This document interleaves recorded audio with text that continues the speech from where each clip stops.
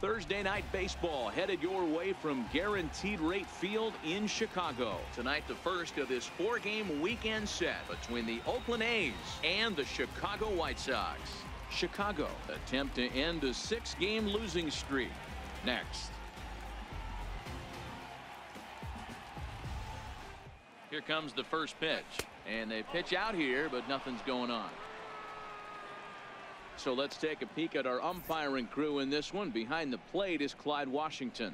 Yeah, Matty, Clyde's my type of umpire. I didn't mind the low strike zone, and that's exactly what he has. If you're not going to give him above the belt, I'm okay with it. D-Row, you know one of the things I guess with Clyde is he is a real good low strike umpire. Pitchers seem to like him more than hitters, but one thing I will say, he has a very consistent zone.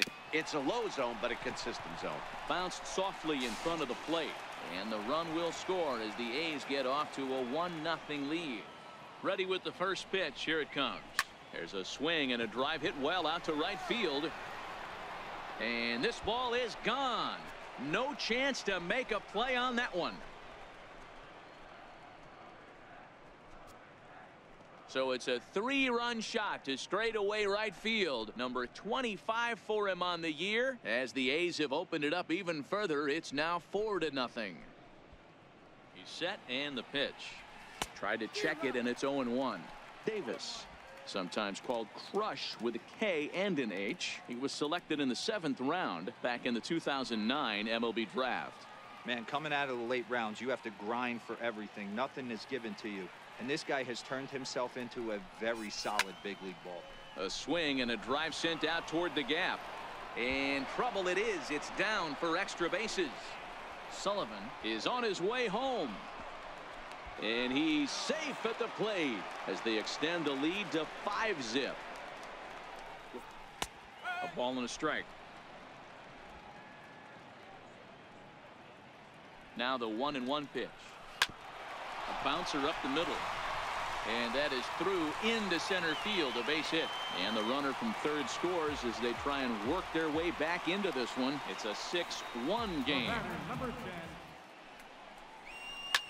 And this is on the ground is short. Could be two. There's one on to first, and it's a double play, although the run does come into score from third. Hit fairly well out towards straightaway center. Fowler's under it. He makes the catch. Here comes the runner from third. And he is safe at the plate, taking a chance down a bunch, but it's a 7-2 contest now. Right fielder.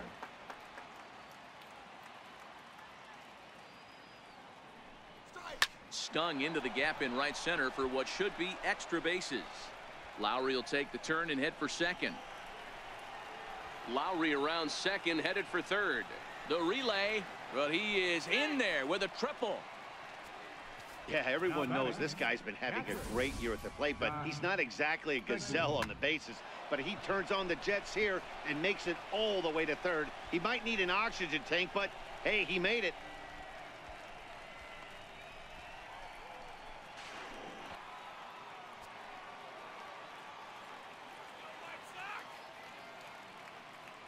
Into the box now, Josh Phegley as he grounds one briskly to short. Anderson picks it up. Throw to first is in time, but meanwhile, the runner is in to score. In now, Josh Phegley. Line drive. That's a base hit into the right center field gap. So now they'll have runners on the corners with two away. Well, D-Roll, that looked like a pretty easy inning to start. All of a sudden, two outs and back-to-back -back singles, runners at first and third. Yeah, they put traffic on him. I, I, guess I would throw it back at you, Dan. You get two quick outs right there, and then you get two base hit knocks. Are you even concerning yourself with the traffic on the bases, or are you just trying to execute that next pitch? You know what happens a lot of times, D-Roll, you lose concentration. You get the first two out in the inning. You think, hey, I'm going to breeze through this and get this third guy out. Next thing you know, first and third. Hit high and deep to left field. Delmonico looks up gone.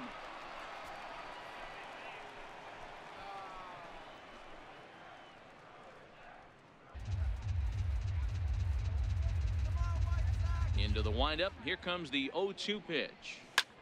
And he turns on one, sending it high and deep to right. Back goes Garcia. Out of here into the visitors bullpen. Standing in now, Marcus Semien.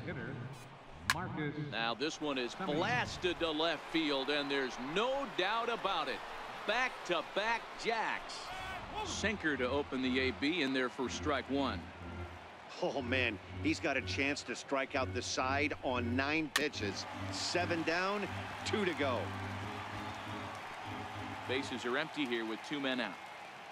The White Sox down to their last strike. And he misses there, one and two.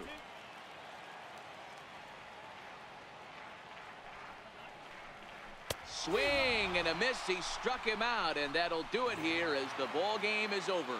Hey, a nice win for them all around, and an even better way to start things off on the first day of summer when every team looks ready to get on a roll. 13 to 2 is the rather one-sided final tally. The Oakland A's jumped out to an early lead in the first and never looked back.